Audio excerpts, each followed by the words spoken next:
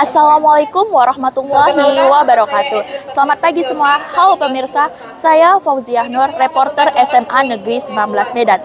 Saat ini pada pukul 6 lewat 55, para siswa-siswi SMA Negeri 19 Medan sedang melaksanakan literasi bahasa Indonesia tentang puisi dengan tema Sumpah Pemuda nih. Nah, penasaran gak nih dengan literasi selanjutnya? Yuk, mari kita saksikan.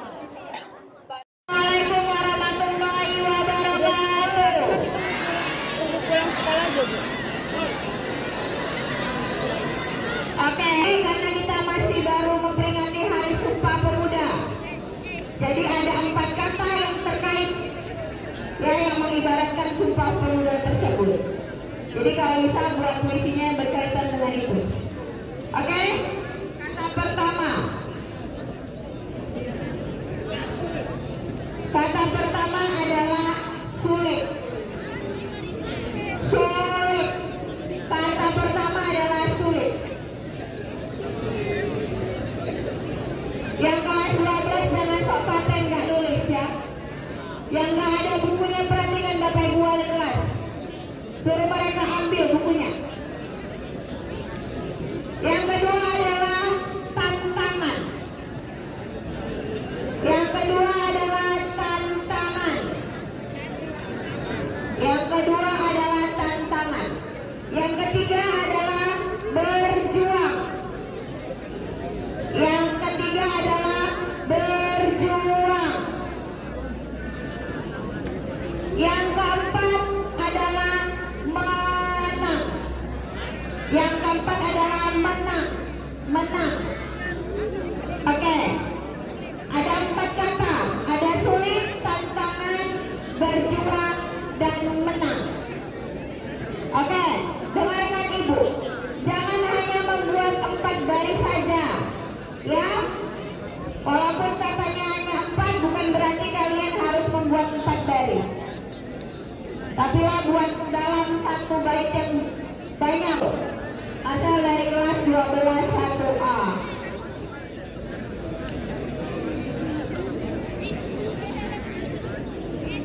Judulnya Kenapa nama saya Mas Kaisa Permasalahi dari kelas 12 Pak. Judul puisi saya pahlawanku. Sulit aku melupakan jasamu Yang berjuang melewati tantangan dunia Yang selalu nanti akan kedamaian. Namun sekarang kau telah menang. Walau kau tak di sini Engkau akan selalu kukenal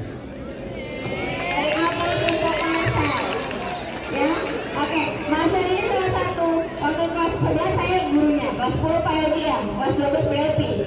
Memang dia bagus, suaranya itu adalah bulat, ya kan?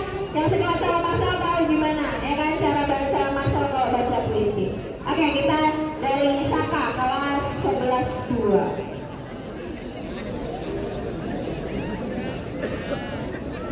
Perkenalkan nama saya Saka dari kelas 11 2.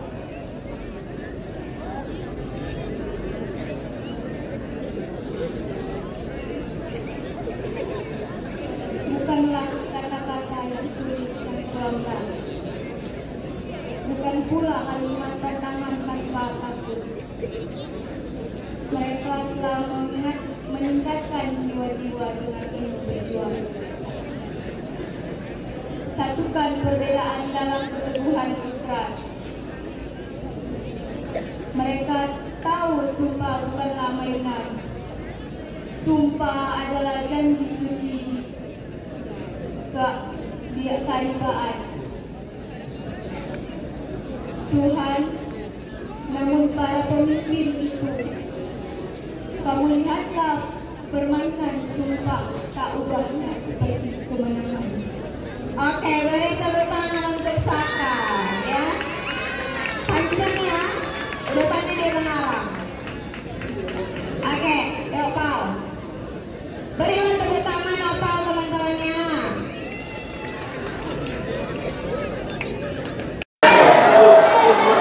Nah, pemirsa, saat ini saya sedang bersama Ibu Etika selaku salah satu guru bahasa Indonesia. Assalamualaikum Ibu, selamat pagi. Nah, Ibu, saya akan memberikan beberapa pertanyaan nih Bu seputar literasi tadi. Apakah Ibu bersedia? bersedia. Ya, jadi pertanyaan saya, apakah literasi bahasa Indonesia ini rutin dilaksanakan setiap hari Rabu dan apakah yang disampaikan itu hanya tentang puisi saja? Ya. Oke. Jadi untuk literasi di hari Rabu itu eh, namanya literasi bahasa sekarang ya. Jadi ada empat bahasa bukan hanya bahasa Indonesia saja gitu. Jadi nanti minggu pertama itu ada bahasa Indonesia, minggu kedua itu ada bahasa Inggris, minggu ketiga itu ada bahasa Prancis dan minggu keempat itu ada bahasa Jerman begitu. Jadi kalau untuk materi yang ada di dalam eh, literasi bahasa itu bukan hanya puisi. Jadi setiap minggunya itu berbeda-beda gitu dia. Karena kita kan dapat dari minggu pertama nih setiap bulannya. Jadi misalnya di minggu pertama di bulan eh, Oktober eh, di bulan November ini ini puisi nanti di bulan Desember bisa novel, di bulan Januari bisa pantun dan lain sebagainya. gitu. Nah, Ibu kan pasti ada manfaat nih dari literasi ini. Apa sih itu manfaatnya, Bu? Jadi begini, untuk literasi bahasa kita udah uh, memiliki banyak sekali manfaat ya kan. Salah satunya kita udah pernah uh, membuat buku tentang anal- uh, antologi pantun ya itu dari hasil karya-karya siswa pada setiap minggunya begitu dia. Jadi itu hasil yang luar biasa untuk di SMA Negeri 19 Medan. Jadi itu karya dari siswa dan guru-guru bahasa Indonesia begitu dia. Eh, bagaimana perkembangan literasi eh, bagi siswa ini, Bu? Eh, apalagi tentang bahasa Indonesia. Apakah ada perubahan yang signifikan? Oke, begini, eh, literasi itu harus tahu bahwa bukan hanya membaca ya, jadi pemahaman. Jadi dengan adanya literasi ini siswa makin lebih giat membacanya, lalu pemahamannya juga semakin tinggi. Apalagi sekarang eh, digunakan kita ANBK ya, jadi itu mempengaruhi. Jadi tingkat eh, kepemahaman orang itu terhadap sebuah teks juga semakin paham, semakin bisa begitu dia, karena adanya literasi pada setiap hari-harinya begitu. Jadi manfaat yang dikembangkan juga lebih masuk ke dalam Iya, diri siswa. ah, jadi semakin berkembanglah mereka karena terbiasa. Kalau terbiasa itu kan jadi biasa aja ketika kita akan melakukan eh, menganalisis sesuatu itu jadi lebih gampang begitu. Jadi menurut Ibu, eh, bagaimana sih men- melihat siswa-siswi ini yang tidak mendengarkan literasi itu? Apakah diberi sanksi atau hukuman? Iya. Jadi setiap siswa yang tidak uh, bisa kondusif di saat literasi pasti ditegur, ya kan? Banyak yang menegur, bukan hanya sekadar dari guru bahasa Indonesia-nya aja, tetapi dari wali kelasnya, dari guru BK dan lain sebagainya. Karena itu sebagai punishment untuk mereka tidak menghargai orang-orang yang berliterasi, begitu. Eh, pertanyaan terakhir nih Bu, bagaimana harapan Ibu ke depannya tentang literasi bahasa Indonesia ini? Ya, oke. Jadi harapan saya itu sangat pasti sangat luas ya, sangat maunya berkembang terus literasi bahasa Indonesia di SMA Negeri 19 Medan. Semakin banyak karya-karya pastinya yang akan eh, kita terbitkan eh, dari hasil eh, semua literasi yang sudah dikerjakan oleh siswa-siswi SMA Negeri 19 Medan. Berarti sangat menyenangkan dan semoga makin terus berkembang ya Ibu. Ya, amin. Ya. Oke, sekian literasi itu. Bagaimana asik bukan? Nah, saya reporter SMA Negeri 19 Medan, Fauziah Nur, pamit undur diri. See you.